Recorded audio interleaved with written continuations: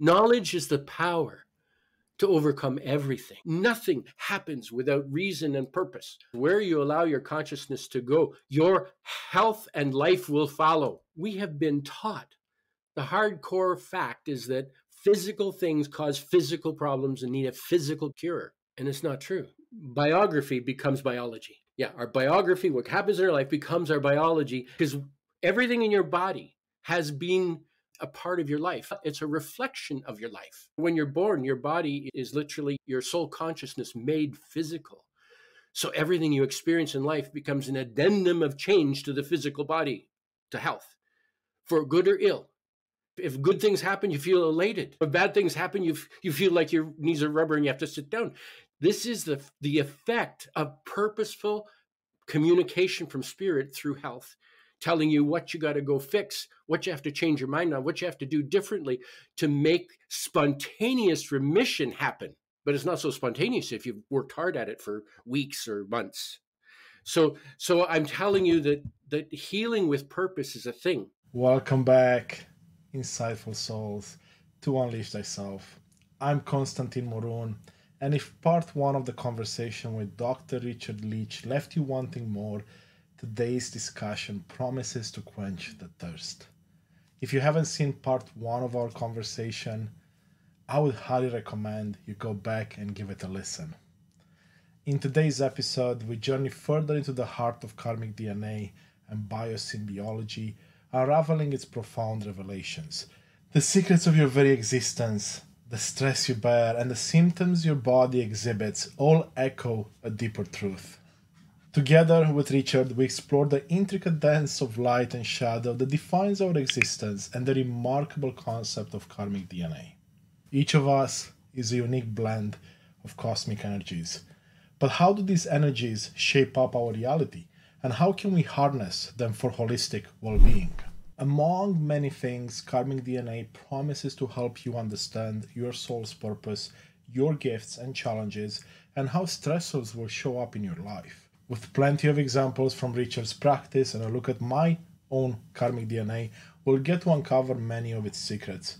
We'll also dive deeper into the mechanics of healing with purpose, biosymbiotics, and epigenetics, the groundbreaking study of how your behaviors and environment can cause changes that affect the way your genes work. But before we jump in, if this podcast has been expanding your horizons, do us a favor hit that like button, subscribe to Unleash Thyself, and leave us a review or comment. Your support is our fuel, and it helps us continue to bring you game changing content week after week. Grab your journal, make a note of your reflections, and immerse yourself in this exploration of self. Let's get started.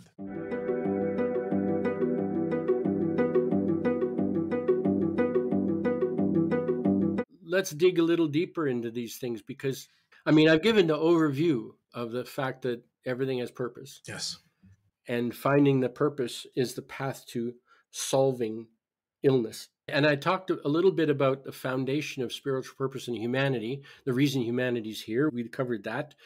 We didn't get too far into talking about what karmic DNA is all about, but I can tell you that like I was talking about your karmic DNA as an example, and basically, bing, bing, bing. I mean, it's all there, and it's you see, you feel the truth, and this was done with mathematics, right? So uh, you know, anybody could go to my website, uh, karmicdna.com, and there's a chart on the first page where you put your name and your birthday and your email, and it will bring up your chart, a sampler of what's in your you you see the whole chart but it'll talk uh, two more pages that gives a little brief explanation about the top three influences. And I mean, believe me, that's mild compared to what I can tell. I could talk about you, Constantine. I could talk about your karmic DNA, your life purpose, and all of its tools, all of its gifts, all of its challenges. I could talk about you for over two hours and not be redundant. So, this little write up is just a sample of a hint of what those top three influences are and what they are. So it doesn't really, it, I mean, it's not meant to teach people how to be. That they come to me for, you know, that we delve into in weekly sessions because there's too much. You know, I tell people stuff and they can't remember it week to week. So we have a little bit of repetition to to really teach them about themselves, right? And but the biggest powerful thing is it shows me all of the things that will stress you, specifically you, no one else, all of the kinds of things that stress you in your life. And then we have the purpose of health, right? As a, as a spiritual guidance, right? And so this is impacting the health. As I said earlier, stress is not just exacerbating illness, it is causing illness. I don't care who you are or what you got, it caused it was caused by stress. And figuring out which stress is very important to your cure. And so when we're talking about biosymbology, I tell you biosymbology is is written in such a way as that there's a, a medical write-up and then there's a biosymbology write-up on the same page. If it's talking about if it's talking about the heart, it talks about what medicine knows about the heart, how it functions, why it does this and that and the other thing. And then it biosymbology talks about the meaning of what the heart's doing and how it's doing it and why it's doing it. And you can actually, if you read them both one after the other, you can actually look at it and go, oh, this is amazing. This is tied right into medical science, biosymbology. It's not just, you know, oh, this means that and that means this. And it's this is showing you for real that this is what you this is what the heart means. And when it's not working properly, this is what it means. This is, you know, and that you start going, okay, well, that what kind of stress would that be? Okay, and I mean, I'll, I'll give you an example, kind of an example. That I had a woman whose telephone said "healing hands" on my tall display, but she never said nothing about herself. She said, "I want to bring my father to you. He's just had quadruple bypass heart surgery, and uh, a month ago, and all of a sudden now he's diagnosed with pancreatic cancer." I said, "Really?" And I want to bring him to you to see if you can help him. And I said, okay. I said, my first session is three hours. I know I have to build rapport. I have to get attention. I have to get them believing. You can't do that in an hour, right? So I know three hours. She's, well, he won't sit for three hours. I said, oh, well, we could always sit in my living room because I my office at my house. I, we can sit in my living room so he's more comfortable. Oh no, he won't do that. She wouldn't tell me nothing about him. She wouldn't tell me nothing about herself. Just I want to. So she made the appointment. I said, well, we'll do as much as we can, you know? So the first thing that happens, they come in, I'm with a, I'm finishing an energy treatment on the table and they come in, they sit in the foyer and there's a clipboard with a red pen out there where they're going to fill out the incoming forms. There's four forms and they fill out the, in, the incoming forms and he refuses to fill the last two out. One is a stress inventory and one is a depression inventory. I'm not here for stress and I'm not depressed. So the person leaves, I come out and he refuses. So I said, Well, look, can you just do it, humor me because everybody does it. It just gives me a little insight. So what does he do? He puts zero, zero, zero. It's all by numbers. One, zero, one, two, three, four, five. You circle right for each statement, right? Zero, zero, zero, zero, zero, zero. The whole column down. He says, "There, I did it. It wasn't real." Meanwhile, while he's doing that, I go in the office and I do his karmic DNA, and I'm going, "Whoa! I got General George Patton here. Life at my demand." Okay, and I'm thinking to myself, hard hearted. No wonder heart surgery. He's as bitter as a lemon. And so he comes in, he sits down, and I'm talking to him, and I'm very careful because he's very analytical guy. I can see his karmic DNA. You know, he's he's going to be skeptical. So instead of going to the spiritual stuff, I go to the scientific research, the research done at Harvard, the research done at UCLA that backs up what I'm talking about and how I'm talking. And and I, I laid a good groundwork and I'm feeling good about myself. I'm, I figure, you know, I got him. He's following. And then I switch and I start telling him about his karmic DNA. Of course, I'm sitting there with the chart on the screen. I'm telling him about his karmic DNA. He gets in his, his head that his daughter has told me about him, you know, behind his back, and I'm dressing him down. And all I'm doing is telling him about his karmic DNA, his challenges. I want to plug in. I want him to see that this is real. No, he thinks it's bogus. He thinks it's all contrived. She set it up. He gets angry. One hour, he says, I haven't heard a damn thing that could help me. So I'm leaving. I said, We barely started. He said, Doesn't matter. I said, Can I ask a question? Why would you come if you're just going to leave? And he said, My daughter is a registered massage therapist And she thought you could help me. And obviously, she's wrong. Meanwhile, I'm thinking to myself, I've figured out because a mutual client that this lady might be a registered massage therapist, but that's not what she's doing. She's doing cranial sacral therapy and past life regression while she does it. She can't even come out of the closet and tell her own father what she's doing. That's why she's got to come to me. And she gets in a huff and says, How much do I owe you? And I said, Nothing. You know, we didn't do anything. There's only a 13% survival rate for pancreatic cancer. And I'm going to tell you what happened. They did a surgery on the heart to take away the system's ability to communicate to him about his hard heartedness and cause the purpose of it had to go somewhere and it went to the pancreas. They wouldn't have missed pancreatic cancer in the heart workup. Seriously. That's intense scrutiny. It wasn't there before the heart operation. But 30 days later, pancreatic cancer, it was manifest total. So it's like you see these things, you see the purpose and the reason. Like that's why people, as they get older, they end up taking this cocktail of, of a gazillion pills. Why? Because they to go to the doctor with one thing, they start like when they're 50 or something, they go to the doctor with one thing and they give them a prescription. And a little while later, they go to the doctor with another thing. Well, it moved. It couldn't talk to him now. They fixed it with the prescription. So it moved and it's now talking to him this way. By the time it goes around to different places, they got this cocktail of God knows how many different things that they they're they're, they're having to to medicate, right? And then some of them they're, they're conflicting, and and they haven't got to the source. Not once have they asked why. Why is this happening? And by the time it gets to me, it's like so far removed from the original. I got to backtrack and say, when did this all start? What was the first thing that happened to you? What was the second thing that happened to you? And the symptoms teach me how the body responded to continue communicating its purpose.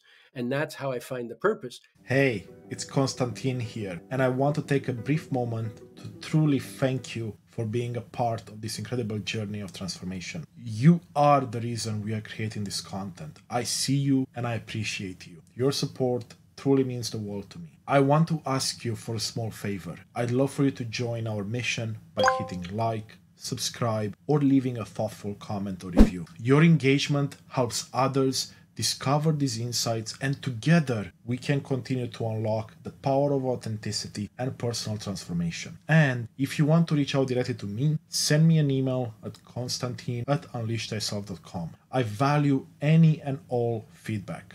Thank you for being a part of this movement. Now, back to the episode. And so here's the key the magic what would they call it? The, the secret sauce, right? The secret sauce remedy to what I do. It's something I learned in Power Squadron as a teenager in nautical navigation. You get a buoy and a point and a lighthouse, and you get a fix on all three of those things, and you can find where you are in that nebulous of the lake. I know I did it. I took a seven horse motor on a runabout and I went all around Lake Simcoe and I got to to Beaverton without looking up, just by the compass and the chart. I got to Beaverton Harbor within 40 feet. That's how I find illness. Karmic DNA is one fix. What kind of stress this man has. Biosymbology. What is the body screaming it about? And now you tell me your stress history, what's been going on with you. And that's how we zero in on the real cause of any disorder. Deal. I mean, that's how I've had so much success over a quarter century it, it's not easy. It doesn't go fast. It takes a lot of talking because the client doesn't even know what I'm looking for. And I, why would I, how can I explain? You know, I'm, I ask questions, they talk, we talk about their history, I make notes, we, you know, and slowly I learn all of the pieces of the puzzle to figure out why this is there, why this is, why is illness visiting their life? Because visiting is exactly what it's doing. It's not permanent. So, so yeah. that's the ByoSymbiology part, life symbolic life science. I spent 20 years writing volume one. I'm halfway through volume two and three. Volume one is the entire anatomy, and it's geared to medical science. And uh, volume two is all known symptoms, and volume three is all known diseases. So it's a life work I'm working on. But basically, there's enough already in knowing the entire anatomy and where to go looking for the kind of things we're looking for. There's enough there to function. And all those pieces had to be in place before I created the course to teach practitioners. I had to give them the solid foundation they needed to do the work. And so, so that's how our life becomes our health. Our biography becomes our biology. Now, a lot of people, especially, by the way, I've had medical doctors, a psychiatrist, nurses, all kinds of healthcare workers as clients. I'm coming to you in private, but you're not to tell anybody I was here. So, so, but the thing is that a lot of people, from a conventional point of view, because let's face it, we have been weaned, we have been taught. The hardcore fact is that physical things cause physical problems and need a physical cure. And it's not true, right? I, I had this wonderful conversation with, with an MD, a doctor, and he was, he and I were locking horns pretty good early in the conversation. You know, I'm trying to share how it is, and he's like rebutting everything. And all of a sudden, he sits back and he looks over his glasses and he says, You know, you might have something here because we will track this stuff in the stomach over here to here. We'll track it all the way right back to brain chemistry out of balance. But nobody dare ask the next question because we can't go smaller. Why is this brain chemistry out of balance? And it could be thought. Thought could be making brain chemistry out of balance, causing a chain reaction through the body till you finally get the end result and symptom. So, as I said, there's lots of people who would be skeptical until they really digest the big picture. But I've been pioneering the purpose of health and healing with purpose for over 25 years, long before I ever heard of epigenetics. And of course, lots of people have heard of epigenetics now. Parallel, parallel to my work in the 90s, okay, Dr. Bruce Lipton a cellular biologist, medical doctor, and teacher at medical college, okay, had been working in cellular biology since the 60s. And he had come up with a body of evidence that he finally released in a white paper in the early 90s to colleagues, to the medical establishment, for which he was shunned because it contradicted almost everything they believe about genetics. He found in his work since the 60s that we have like I don't know I don't know 78 billion cells in our body? Or maybe it's 48 billion doesn't matter vast amount. We've got all these cells in our body and each and every cell has a membrane around it made of the same material as the gray matter as our brain every cell in the body thinks doesn't have a mouth can't talk back it can only vibrate out of balance to cause a symptom so he found that cells are intelligent and by the time he coined epigenetics, and I'll tell you what it means epi means over, and genetics means control. For over 100 years, we believed that genetics was a plan, and if it's in the plan, you're screwed, it's going to happen. It's not true. The genetic plan is like the blueprints for a house. Better still, it's like the script of a movie of your life, and it has all the variables. It's like duct tape, it's got a dark side and a light side. It's all the planning you need for this structure to do whatever it's going to do for the rest of your life, but it doesn't implement it. He found that the cells yeah. thinking, and how he found this was he took cells from uh, stem cells, right? And he took from the same cluster. He put stem cells in three different petri dishes and put them in three different environments. And depending on the environment that the cells were in, one cell structure made bone. Same stem cells as the other ones. The next one made muscle, and one made fat. All the same stem cells making different things.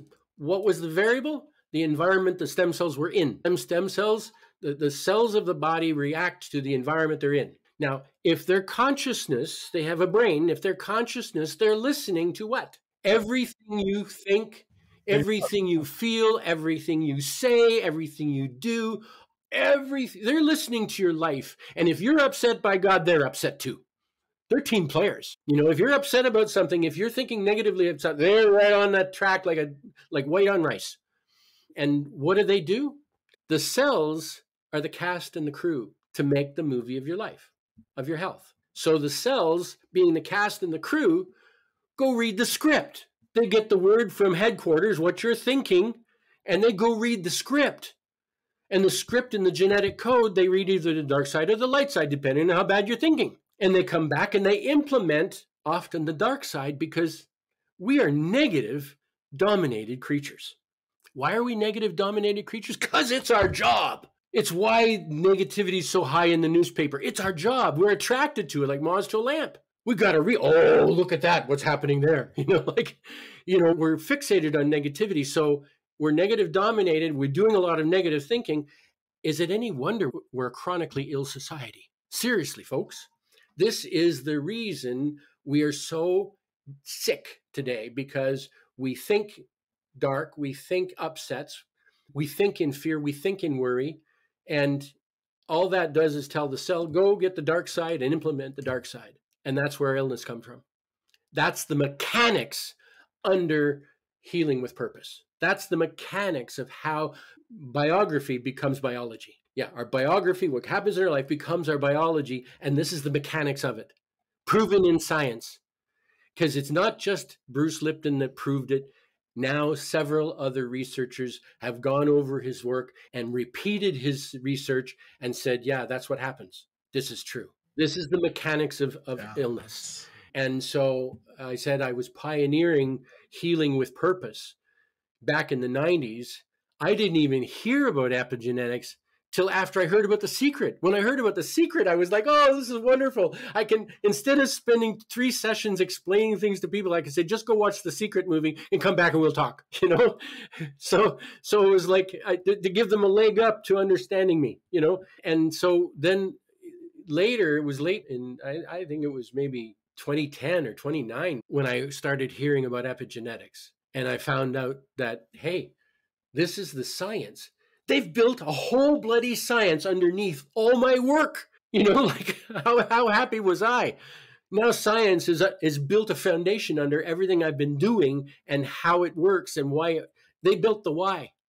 I know it works. I I've seen it, done it, been there, but they built the why. You know, so this was a this was wonderful for science to to come up underneath my work and prove that what I'm doing is valid and functional and, eff- and efficient.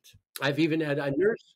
I had a nurse that came to me and That's she wrote a testimonial. It's on my website. She wrote, she was a nurse, an ER nurse that had been like 15, 18 years in the biz. And she went back to school and got her doctorate. And she ended up, she's retired now, but she ended up a director of medicine at uh, Brantford General Hospital. Okay. So her testimony challenged the medical establishment to look into what he's doing because she had knee problem for 10 more years and I relieved it in like 3 months. And she was wowed because she had she'd seen bad surgery in the knees go bad and she didn't want that. She the drugs didn't work, but I worked because I found the reason it was there and we solved the puzzle and it went away. It no longer had a spiritual right to be present.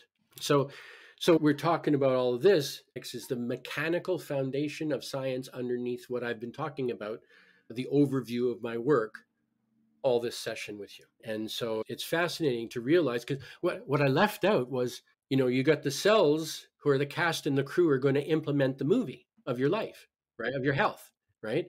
And you got the script, the genetic plan. What's missing? The director of the movie. The, Who's the director of your movie? Yeah. Are you directing like Alfred Hitchcock or are you directing like Steven Spielberg? Is this fun and whimsy or is this a horror? And what result in your health is going to be there depending on the director? And you're him.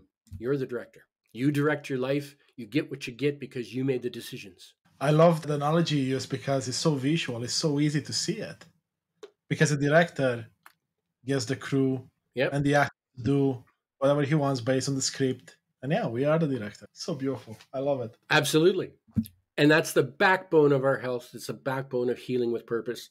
And so it's fascinating to see this unfold like this, you know, and all the different pieces of the puzzle. I, I said to you earlier, I don't know whether it was today or another time, but I said to you, it's really hard to share what I do in a brief way because there's so many moving parts. There's so many complex different pieces of the puzzle and they all fit together. Right? And if you don't tell most of the pieces, people are sitting there going, I don't think so. I don't get that. I don't, you know, that doesn't sound, that sounds far fetched to me, you know, and in actual fact. It took me a while to wrap my head around it. And I've known about this for a while. And I thought, karmic DNA was just a piece, and then I realized, like you said, that it's one of multiple pieces that have to fit together to truly get to the purpose, the solution. Yeah. For whatever. To either resolve issues in your health or avoid issues in your health or find the path of ease to your life to be happy and successful. Because no matter what you do, if you're not doing the spiritual challenges right, you're not going to get the successful. You're just not rewarded. You know, it's why one person achieved something and you did the same thing and you you, you go, what's wrong with me? Well, you had these challenges. He didn't have those challenges. He zoomed ahead. You know, he got to leave out step three and six, and you saw him and you left out step three and six, and yours folded like a broken machine, right? It was like, so so so these things, I mean, everything is purpose and reason. Yeah, I mean, it makes sense why different tools, or let's say the same tools that work for me won't work for you, exactly. because you operate with different challenges and different tools, essentially. Exactly. And it explains like why people try to sell this idea of like use these five tools and you're going to become a millionaire, and then it works for a small percentage and no one else. Yeah, the, it works for the percentage of people who have karmic DNA that are similar. But it's funny because you you hit a nail right here on the head because everybody has a different objective in life, right? Everybody has a different purpose and a different challenge, series of challenges. And so so people think they've got it figured and they write self-help books. And other people go around buying all kinds of self-help books and reading them and going, it didn't work for me. Why? Because it worked for people who had those kinds of challenges, not for you with their kind of challenges. You know? So it's I, I and, and this was cool because when I taught my practitioner's course, when I taught karmic DNA, I said to the group, I said, you never going to know the power of counsel with karmic DNA until you yourself are sitting across from someone counseling them to do something that you yourself would never in a million years do. But you're counseling it because you see it in their karmic DNA not because it's what you think should be done. It's not because you did it and got it, got it right. No, you're seeing their challenges and you're saying you're going to need to do this and this to get this on, on track.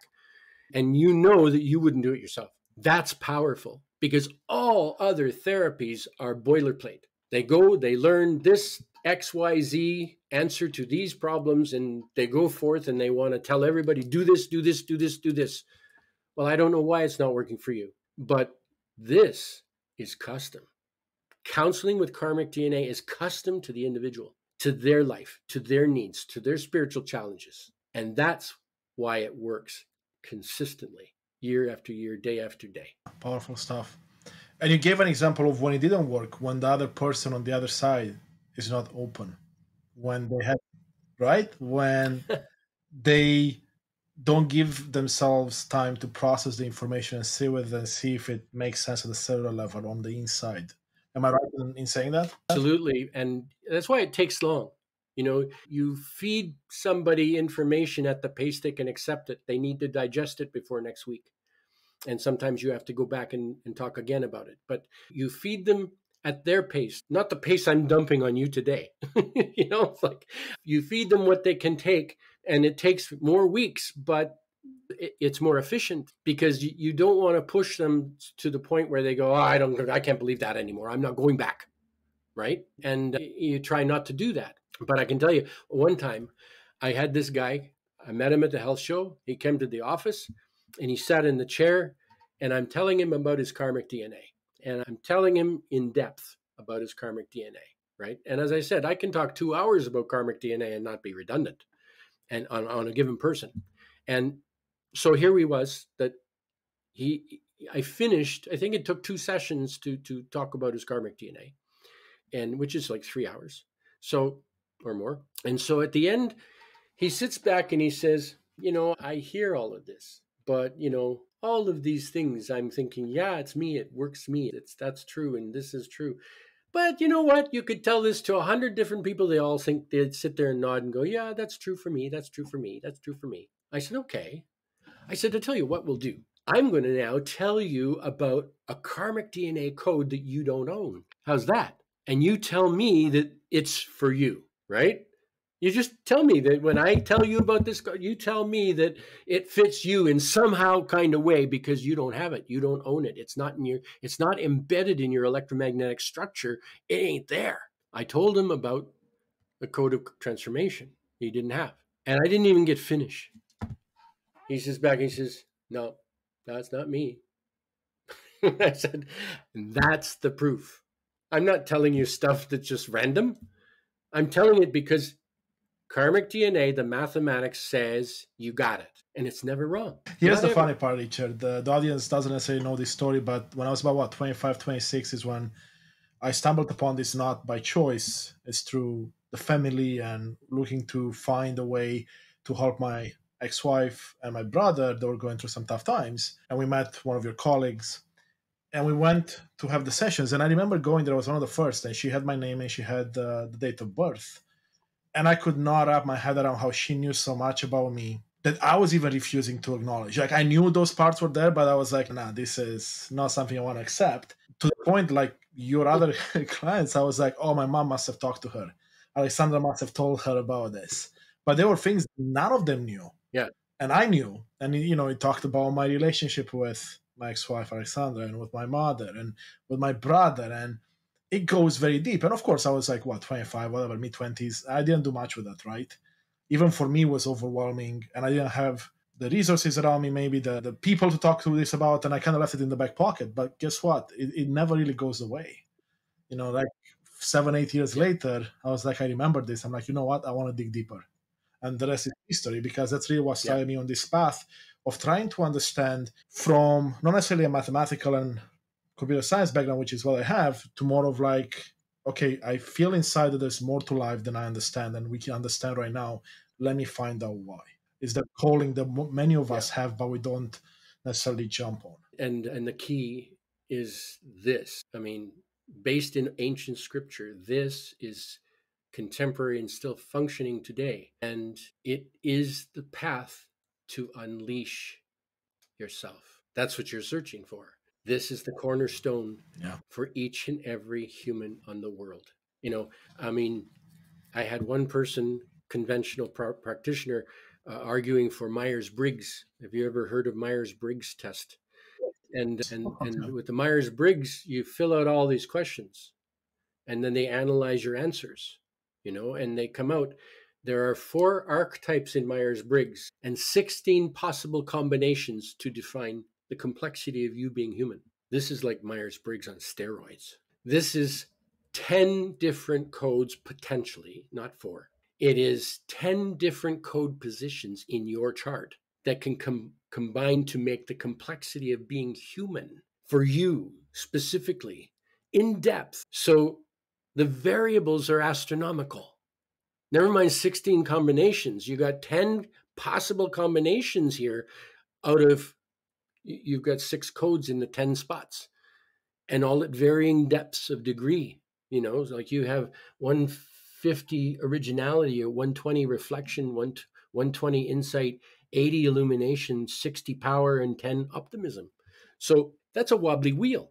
Karmic dna is soul consciousness divided up into 10 equal parts and nobody comes with the 10 equal parts. Soul consciousness is perfection all balanced at 100% you pack an overnight bag of karmic DNA to come into this incarnation, and you exaggerated three of your codes, a caricature, more than 100%. And then you filtered out three other codes to less than they are. So you're a wobbly wheel. You're literally imperfectly balanced, right? That's what causes your individual life agenda path. And then, you know what? I can tell you this without a shadow of doubt it would take 65,686 years before another human could be on this planet exactly duplicate of you. And that's so a long time. None yeah. of us can compare each other. We'll have similarities, yes, but we can't compare. You can't think, oh, he's better than me because on that subject he may be, but on this subject I'm better than him because that's the way I'm built. I'm built with these tools, these gifts, these talents, and each of these gifts and talents has challenges forcing me to confront bringing the challenge out in a positive way. It's my boot camp to become the best expression of me possible. So it's fascinating. That's the complexity of being human. That's what that's how this measures up in science. There's no comparison because you don't have to do all that testing and answering questions. I can do the karmic DNA in, in, in two minutes. Two minutes. I could do it up by hand. It's fast and it's always accurate. There's no doubt it's never been wrong.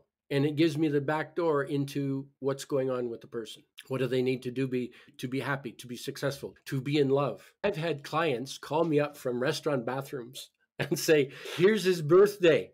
What have I got?" They're on a date. You know, is this compatible? And I will say, "Yeah, it's not so bad." I mean, there's complexity to compatibility, but I say it's not so bad. But but watch this and this and this. If he does these things in a in a bad way, this is not going to be good because there's a dark side and a light side to your karmic DNA. There's a wonderful side of every code that's very very forward positive, but there's a dark side to every code too. Optimism is the artist, author, performer that wants to uplift and inspire people. If it goes dark, it becomes the pessimism code, and you've met those people. You know, like it, they're living in the dark space yeah. of their masterful communicative ways. They're not uplifting anything. They're really putting asunder. So, is let me ask you this because this keeps coming to mind: Is the goal then to be only on the light side, or to bring it all in balance, where you understand the dark, you spend time there to get yourself attune to it and, and learn the challenges and then you get to a balanced state. If i was talking about a pure goal the goal is to know this so well is that you always make the right choice. You don't need to walk in the dark side. You don't need to swim in the muddy water. You you don't need bad experiences. I had one woman argue with me if i didn't do the the, the the, the, the, dark stuff i wouldn't know how good the light stuff was. I said okay. If you it, that's called free will I mean, this environment, Spirit put this environment together for us to have pure potential. Give, you know, people blame God. How could God make this happen? How could God allow this to happen? This is horrible. Well, you know what? Thank God that God created the environment that gave you the choice to do that dark road or not. You know, you he gave you pure potential. What have you done with it? You know, so so, and I shouldn't say he because I know that God wouldn't be gendered, right? There's no gender on the other side. So, I mean, if anything, we have reason to know that low vibration is masculine and high vibration is feminine. The first three chakras in the body are, are masculine, the heart is neutral, and the top three chakras are feminine. So, the higher the vibration goes, the more likely it is God is female. So, but we're talking about this. Uh, what's the goal? The goal is to master your challenges so that you can have the wonderful life, the life you deserve. We all deserve a, a, a wonderful life, right? We don't deserve to to go through the gauntlet of horrible experiences that we do. We're making our mistakes in going there, right? But our mistakes are supposed to going there is supposed to teach you to not go there again. you know, it's literally about learning enough about what's on the dark side that you always are choosing the positive on the light side and avoiding the dark side. And and in some respect, you're right because if you don't go and do the dark side, how are you going to know to make the, the challenge uh, to to make the right decisions? But that's where I came in, right? I mean, for thousands of years, we've been doing this the hard way. You know, autopilot, trial and error. Oh my God, that was horrible. I don't want to do that again. I had to do it to find out how bad it was, and I won't do that again. Why? Why do you have to do that? If I could give you the knowledge hmm. of all of the challenges and you could recognize them uh, as they unfold on your horizon, you go, oh, I know what that is. That's that challenge there. I know what to do with that. There's my answer. That's I never thought of it that way. That's really interesting, Richard. So let me ask you this, because you mentioned a couple of challenges for me. Well, a few more actually. Let's take the trust one. How can how is it a challenge first of all? And second of all, how could one, let's say, that has a trust challenge in their karmic DNA, come to be able to notice it far enough so you don't have to spend time in the dark side. Because that's what i'm still trying to wrap my head around and i would imagine many others will have you, the same question. you picked a good one. All of the challenges are there to hone your skills with the gifts and tools that you brought with you. This trust challenge comes with reflection. Reflection is a quiet watcher. It's an introvert it's the quiet side. You'd rather be watching the, the goings on than be the center of attention. Yeah, you're nodding. And so the thing is that reflection is is literally the philosopher, the deep thinker, the problem solver for all humanity. So let's say I'm going to tell you all about reflection. I mean, this is the truth of the whole thing. Okay. And is this is condensed and to the point and conceptual.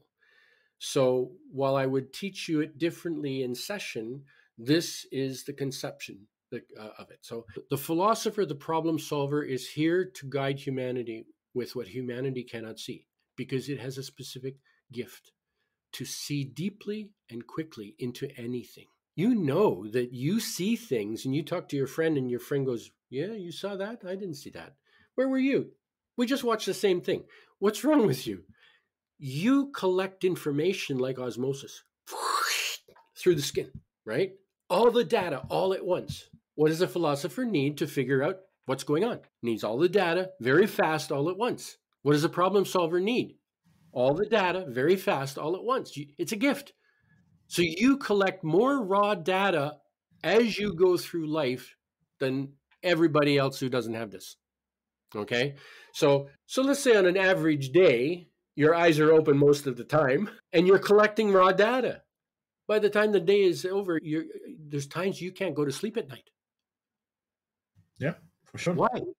Why? Because all that raw data is rolling around. You haven't done nothing with it. You have to do something with the data. So not only do you collect the data, you got to reflect on the data. The reflection code. Yes. You got to reflect on the data you got today and figure out what it all means. And you literally sift through the stuff and you say, well, the, the stuff that John was talking about, that's kind of important. I'm going to put that over in this box. And the stuff that Susan said, well, she was being devil's advocate. That's garbage. Eh, put that in the trash. And you go, you sift through your day, figuring out what's important, what isn't important, and then you connect the dots with the things you got yesterday and the day before and then last week you're slowly building a body of evidence to solution, right? This is how your gift works.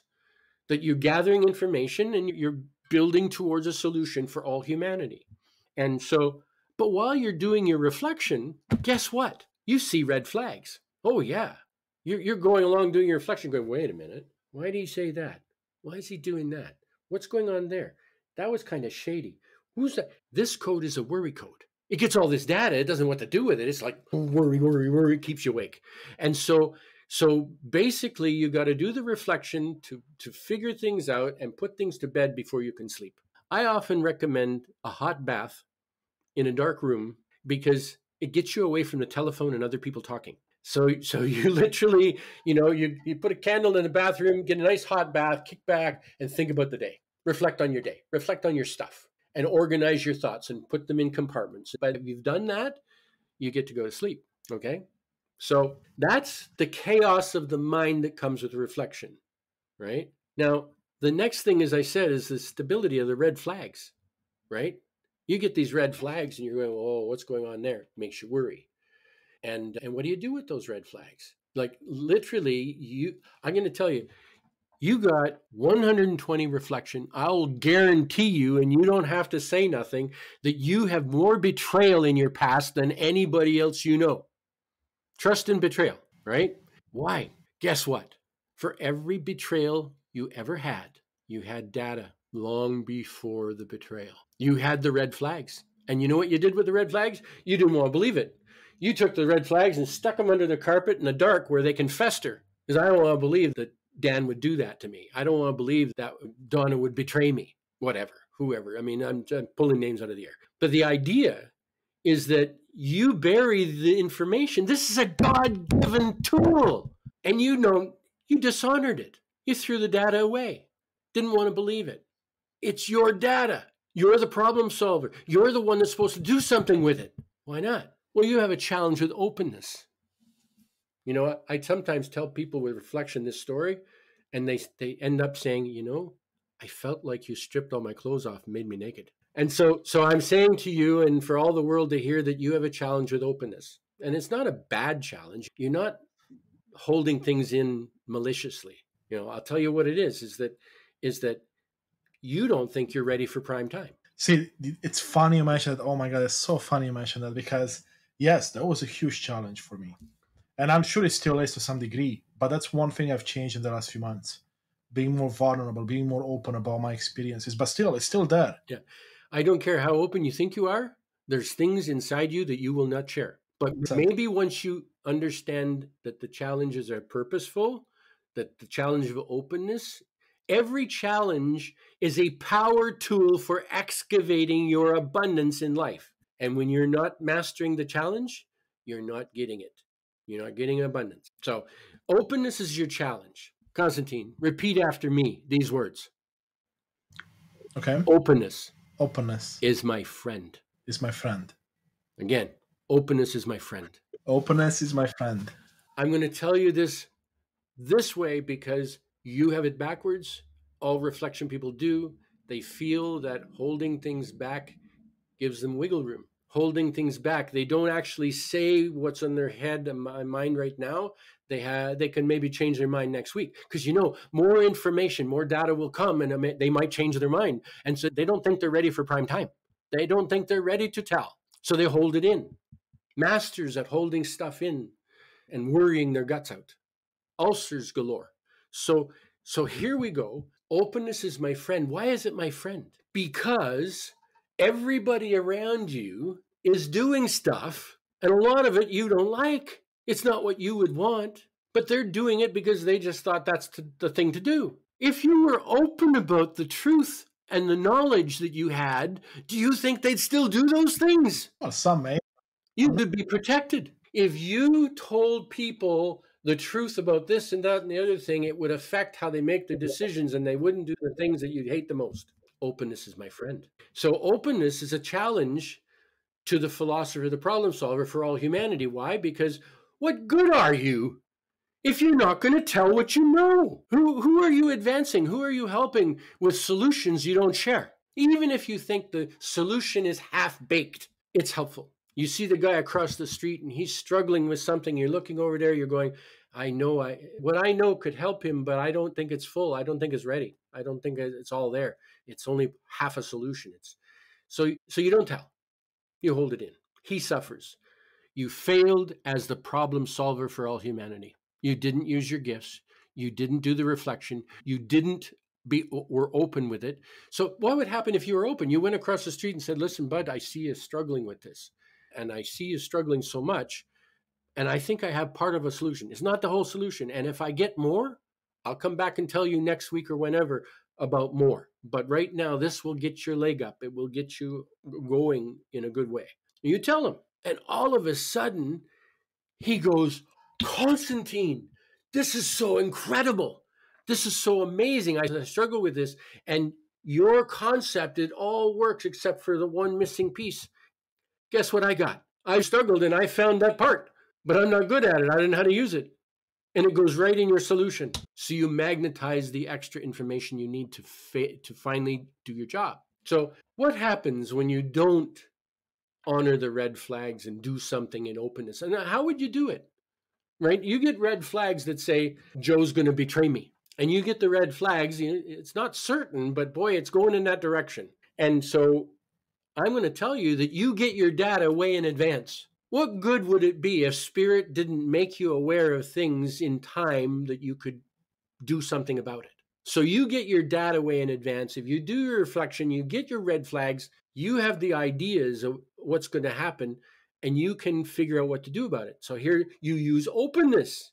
Openness is what? My friend. So you use openness and you go to Joe and say, Joe, listen, buddy. I mean, we've been friends for a long time and I value our friendship. I really do. And something's been nagging me, bugging me. I, things that I've come across that it's just driving me crazy.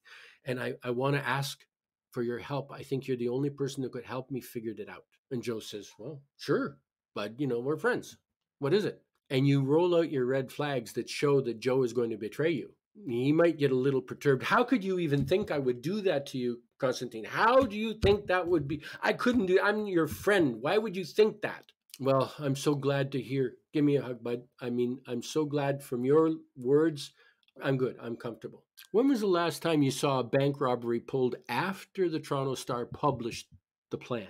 I don't know. People don't do the deed if it's already out in the open, caught before they do it the idea wasn't you never go and accuse you go and show the information and they get to rebut and you don't accuse you know and so it's just knowledge and thank you so much for making me calm making me i needed to hear you say that mm-hmm. right?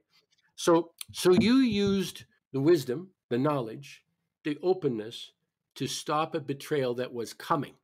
Why was it coming?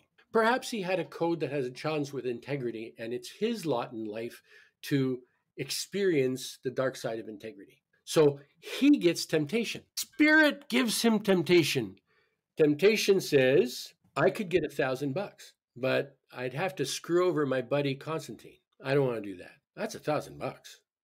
I'm going to talk myself into it. I'm going to take Constantine out drinking. I'll share the, the spoils with him, right? Because he won't know, right? No, not true. It's your challenge. It's his challenge. It has to come out.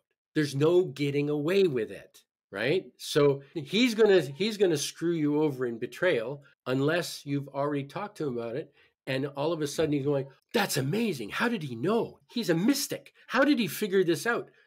So I got to go tell Constantine that this really did happen. I would never have believed it, but there's the temptation. And I got to tell him, uh, Look, this is real. And on the way to meet you, he goes through several of your mutual friends saying, Look, look, Constantine's bloody amazing. He's such a mystical mind. He knows things before they happen. This, he, he figures things out. He, you know, if you figure you got problems, ask him. Your equity is going up as the problem solver in the public eye. I mean, think about it. When was the last time you saw a business card that said philosopher on it?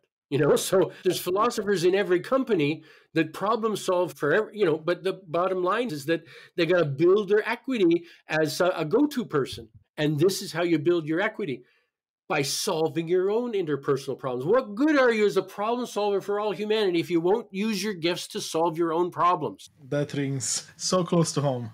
Wow. This is the boot camp of how to master your gifts. And this is what trust is about. It's not about always being trusting, it's about always being vigilant. It's definitely don't be paranoid because this is a worry code. It can go paranoid. You don't want to go there, but you want to use your information, use your gifts to be diligent, to be vigilant, to see things before they happen so you have a chance to set them right before they come to bad. Wow. Okay, I'll have to digest it quite a bit, but it resonates. It makes sense. A lot of those examples hit close to home. Yes. Everything you're talking about. And I'm going to tell you something. The same code has a challenge with faith. Faith, in oneself or faith in everything? Absolutely. Faith in everything. You know, there's people who have blind faith, right? And especially people who don't have reflection, you see all the details, you see everything and all in its in bits. You you see the pros and the cons. And when you see all the pros and cons, if there's even if there's even two or three cons, how can you have faith in it? Whatever it is, right? You see all the details in glory and how is it you, you would scoff at the idea of having faith in something so diligently but you're not allowed to have faith did you know that we with reflection codes are not allowed to have faith because we have the data it's our job to decree where people can put their faith. We okay. figure it out. We got nine pros and four cons, and we go to their friends and say, listen, we can have faith in this product we can have faith in this idea, this concept, this, this, this ideal, this company. We can have faith in this because it's weighted positively. There's only four cons. Nothing's perfect in this dimension. Perfection cannot exist in this dimension. Karmic DNA proves perfection doesn't exist in this dimension because the souls don't come here all balanced. They come here as wobbly wheels. You've only got six archetypes and they're all different values, and you're different from everybody else. So it's like it's an imperfect world because we're having this journey to confront negativity. It's all setting it up so that we have the issues to do what we have to do to save heaven. So, interestingly enough, you're not allowed to have faith. You get all the details. You get to worry. You only you can stop the worry by saying, you know what, I've analyzed it. It's weighted to the positive. Nothing's perfect. So we'll go with it for now. If it changes, I'll let you all know. I decree this is faith worthy. Yeah. Some people listen could resonate with that because they have it. Others would be like, I have no idea what he's talking about because they don't have it. Yeah, uh, they they would understand it. They'd follow along. They see you're nodding and going, "Yeah, that's it. That's you know." They they get the corroboration, but they don't know it in their own life, and they're going, "Well, it, it must work because he was on it. You know, he believed it." But it's like I told you, the guy I told the code that he didn't have, he go, "You know, you're right. I don't have that one." You know, that's not me. So this is custom and it's very specific. And it's the foundation of knowledge that you can actually put to work today, tomorrow. Everything I told you about reflection is going to change the way you see these things because up till now, I'm certain that they would have been a nemesis. Like, oh my God, is this happening again? Well, certainly it's going to happen over and over. It's your job to figure it out and stop it. And every time you stop it, you get abundance. Every time you master one of the challenges in your karmic DNA, you get growth and abundance. So it is fascinating. It is a, a, a very huge body of evidence that changes every human person's life who learns it. So let me ask you this then. In your work today now, you work with people, you teach the course, you have other practitioners learning to do what you do, or at least some of what you do, right? If people want to work with you or anyone else, where would they find more information? Well, yeah, a- they can get their sampler at karmicdna.com. They would have to email me, richard at bioenergytherapy.com. I will put those in the show notes too, of course, as well. Yeah, I there there is a web page that shows the course.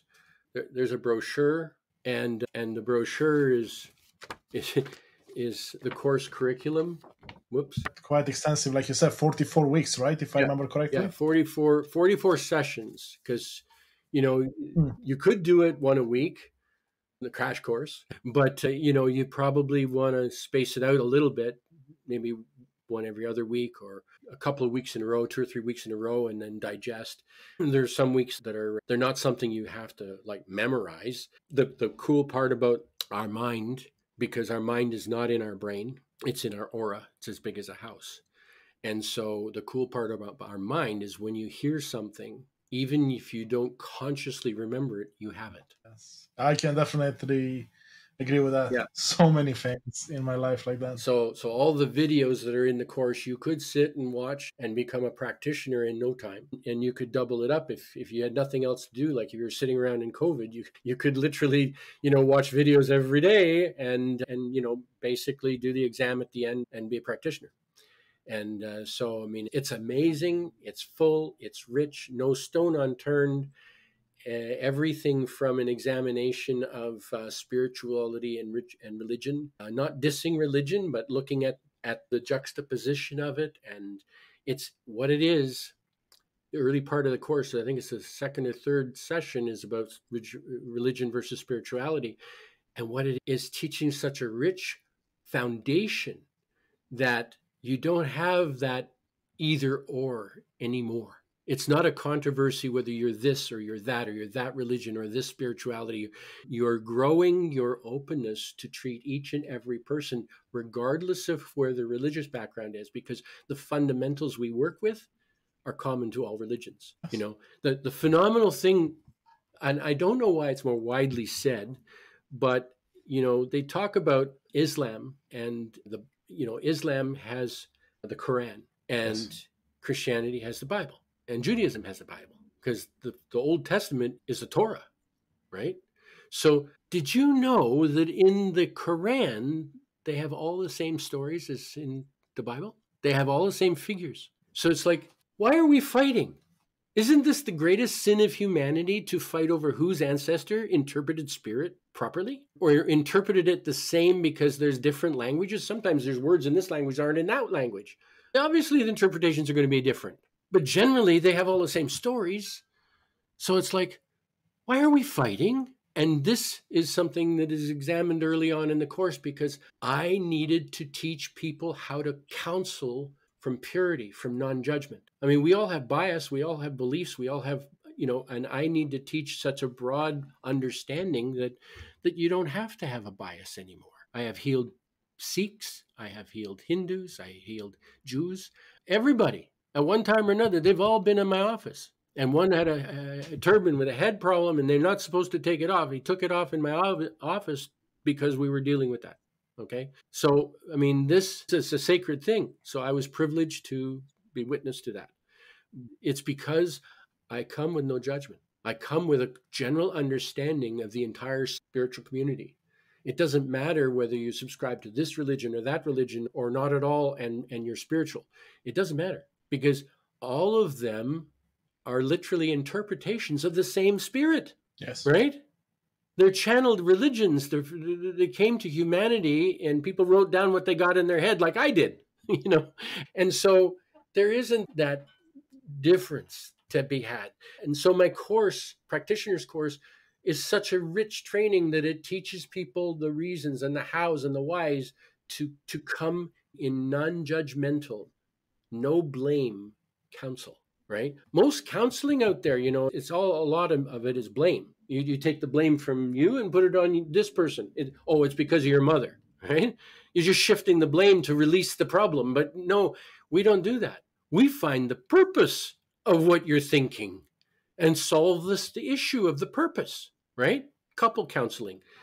They have two different karmic DNA. They have no idea why they're at each other's throat, right? And when I teach the wife his karmic DNA, as well as I've done it hers, I teach his, I teach him his, and I teach the wife hers, or teach him hers. And all of a sudden, you see this growing understanding and rapport, where once they locked horns and said, You did that to me on purpose. You said that on purpose. You hurt me. And because we're mostly mostly operating on autopilot from our karmic DNA, right?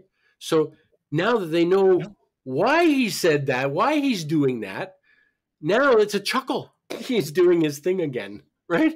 I know why he's doing that. It's not per- personal, instant rapport. Knowledge is the power to overcome everything. So, you know, it's, it's very powerful in different ways. Yeah, absolutely. Absolutely. Wow. Amazing stuff, Richard. Thank you for listening so far. The depth of Dr. Richard Leach knowledge is truly awe inspiring, right? We've explored the mechanics of healing with purpose and delved into karmic DNA, and of course, teased ByoSymbiology. But our journey doesn't end here. Join us for the third part as we dive even deeper into reading the purpose of health through the intriguing world of ByoSymbiology. Get ready to gain insights that might very well reshape how you view your own health and well being. Thank you so much for joining us on this exploration of personal transformation. Your presence and engagement are at the heart of what we do, and I sincerely appreciate you, your time, and thirst for knowledge, inspiration, and empowerment. Please consider showing your support by hitting like, subscribe, leaving a comment, or writing a review. Your engagement not only fuels our mission, but also helps others discover these insights. For more daily guidance on personal transformation across the mental, emotional, spiritual, and physical realms, be sure to visit our website at unleashthyself.com. You can also find us on Instagram at Unleash Thyself Today, TikTok and YouTube at Unleash Thyself, and there we post daily content designed to inspire and empower you on your journey. If you have any specific thoughts, questions, or feedback, I truly value your input. Or if you'd like to have a conversation with me, or work with me, please feel free to email me directly at constantin at unleashthyself.com. I would love to hear from you. Together, we're building a community united in authenticity and purpose. Once again, thank you for being a part of this movement. Until next time, continue to embrace your true self and live a life on purpose with purpose. See you in the next episode.